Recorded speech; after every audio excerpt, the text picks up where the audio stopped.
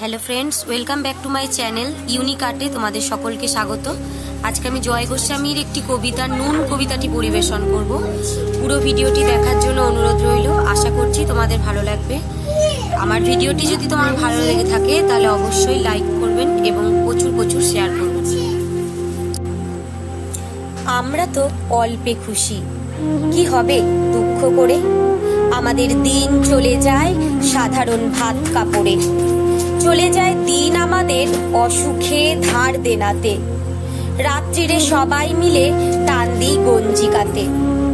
সব দিন হয় না বাজার, হলে হয় মাত্রা ছাড়া। বাড়িতে ফেরার পথে কিনে আনি গোলাপ চারা। কিন্তু পুতবো কোথায়? ফুল কি হবেই তাতে? সে অনেক পরের কথা টান দিই গঞ্জিকাতে। আমরা তো এতেই খুশি, বলো আর অধিক কে চায়? হেসে খেলে কষ্ট করে আমাদের দিন চলে যায়।